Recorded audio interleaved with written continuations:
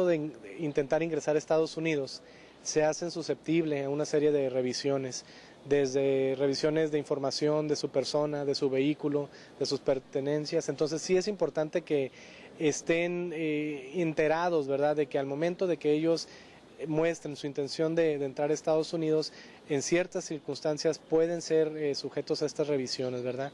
Y eh, con la esperanza de que no, no lleguen abusos estas situaciones, ¿verdad? Pero fuera de eso, eh, la autoridad de Estados Unidos sí tiene la manera y el derecho de hacer estas revisiones y, poder determinar si la persona que está ingresando al país realmente es una persona confiable, una persona que, no tiene antecedentes, ¿verdad? una persona que no va a causar eh, ningún agravio o, problema dentro del país, ¿verdad? Entonces, una recomendación muy importante a todas las personas que, que, crucen Estados Unidos que tengan sus visas de turista, un folder con comprobantes de domicilio, comprobantes de ingreso, algún estado de cuenta bancario, puede ser la diferencia de que en una revisión ya profunda les quiten o no la visa.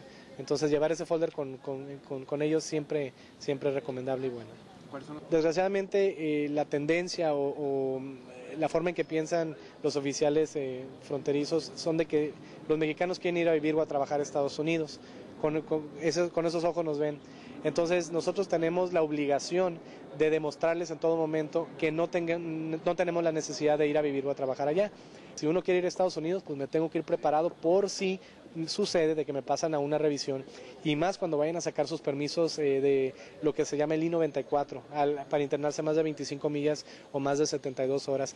Es una revisión profunda, desde tomarle sus huellas, tomarle foto, este, ahora sí, a, su cara, a lo que es el ojo.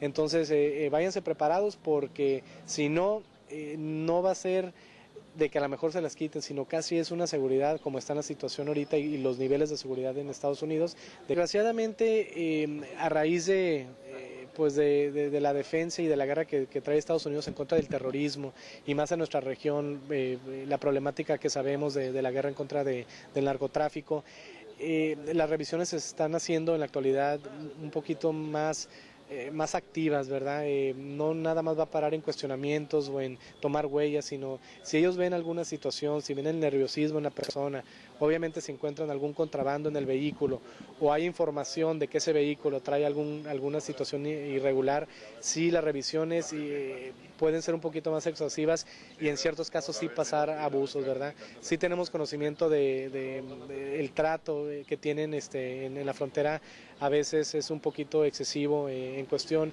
no tiene que, no me refiero que sean golpes, pero sí eh, los insultos, este, los cuestionamientos de, horas que le hacen a, los mexicanos, ¿verdad? Entonces, eh, pues obviamente siempre ha sido un, llamado a las autoridades de Estados Unidos de, que pues no todas las personas son, iguales, ¿verdad?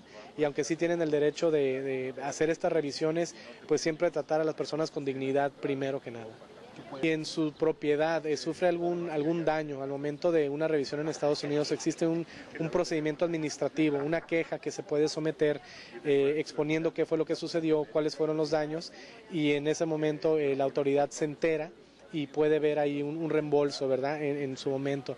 Si ya existe una situación donde la persona sufre golpes, torturas, y luego es eh, regresada a México, ¿verdad?